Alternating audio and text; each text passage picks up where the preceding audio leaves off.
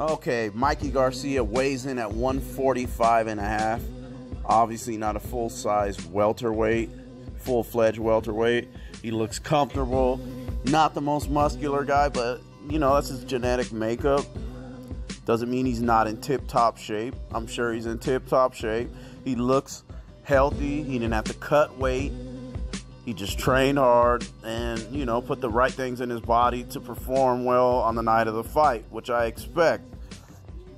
Um, then we have Errol Spence coming in at a lean 146 and a quarter under the 147 pound uh, weight limit. So it looks like he's going to maintain his size, but he did not neglect speed. He's coming in a little little lighter, though he will during the fight come in around 160, 165. I think Spence is going to impose his size still, but yet kept his kept his thought process on not being overly sluggish and being sharp and quick. So this fight looks fantastic. I can't wait. Both look in good shape. Both are in good spirits.